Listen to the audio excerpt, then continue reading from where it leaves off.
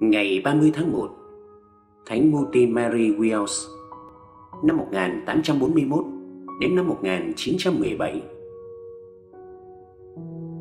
Louis Wells sinh ngày 20 tháng 3 năm 1841 tại Mellet, nước Bỉ trong một gia đình bình dân. Ông thân sinh làm nghề thợ rèn. Bà thân mẫu có một quán ăn cho khách qua đường. Gia đình Wells nghèo của cải nhưng giàu đức tính của người nông dân, cần cù, lương thiện, kiên trí và nhất là giàu đức tin.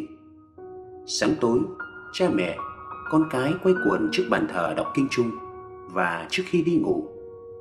Các con lần lượt tới xin cha mẹ chúc lành. Ông bà ôm các con hôn và làm dấu thánh giá trên trán từng đứa.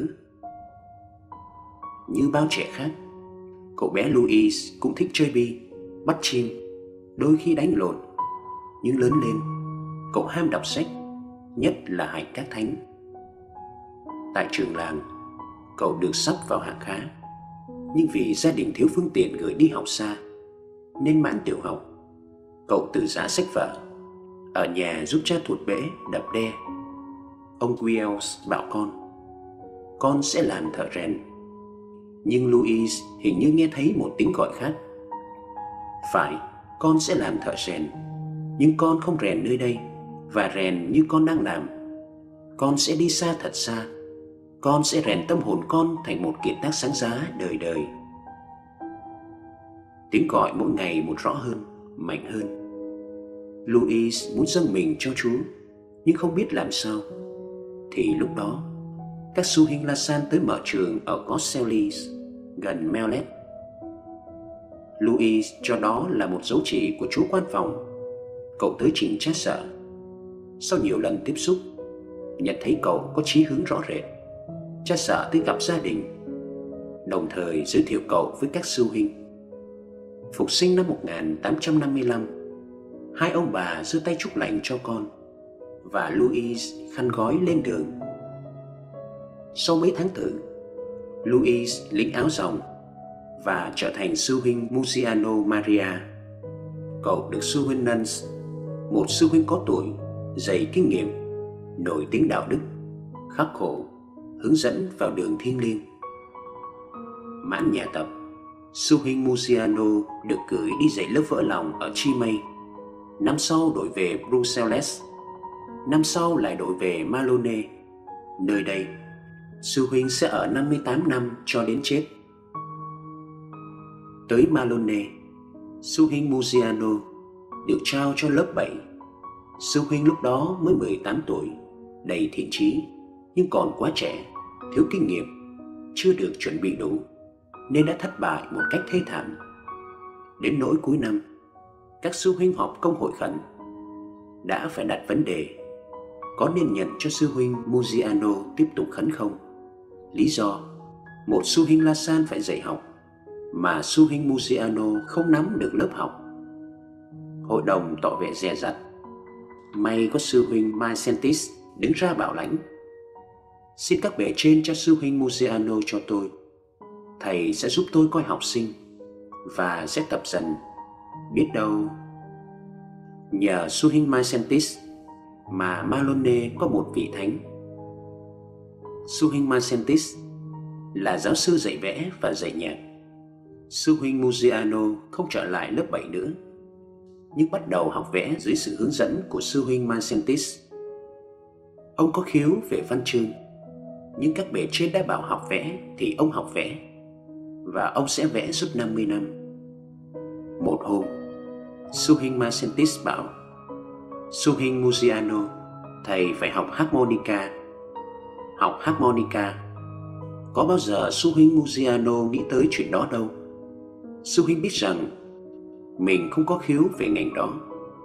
Nhưng Suhin Masentis đã bảo Thế là mỗi ngày người ta thấy đúng 9 giờ là ông có mặt tại phòng nhạc.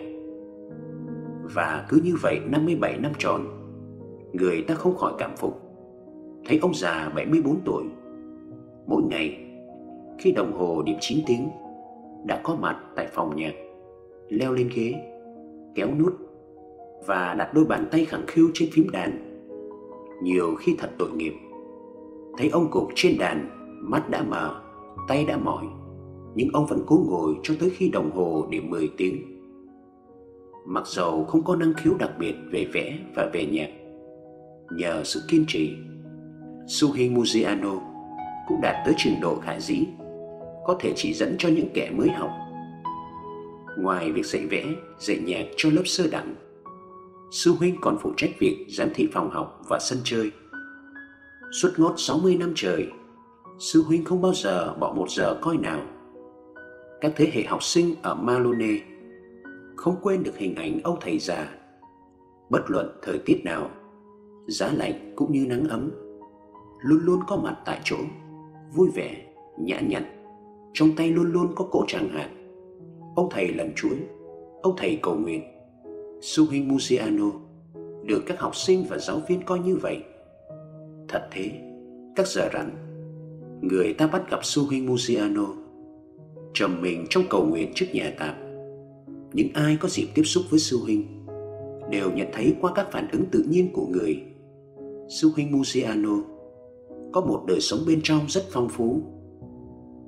Sư Musiano Maria Wells mất ngày 30 tháng 1 năm 1917 thọ 76 tuổi với 62 năm trong dòng hương thơm thánh thiện của người cùng những ơn đặc biệt xin được nhờ lời người cầu bầu đã làm cho người ta nghĩ tới việc phong thánh cho người. Năm 1923, nghĩa là chỉ 6 năm sau khi người mất, Đức Giám mục Nam Múc đã ra lệnh lập tòa án để xét việc phong thánh cho người. Ngày 7 tháng 9 năm 1989, việc lành bệnh của sư huynh Madia được nhìn nhận như là một phép lạ và Đức Thánh Cha Gioan Phaolô II đã quyết định nâng sư huynh Musiano Maria Wells lên hàng hiển thánh. Lễ phong thánh cho sư huynh Musiano Maria Wells, dòng các sư huynh La San, được cử hành ngày 10 tháng 12 năm 1989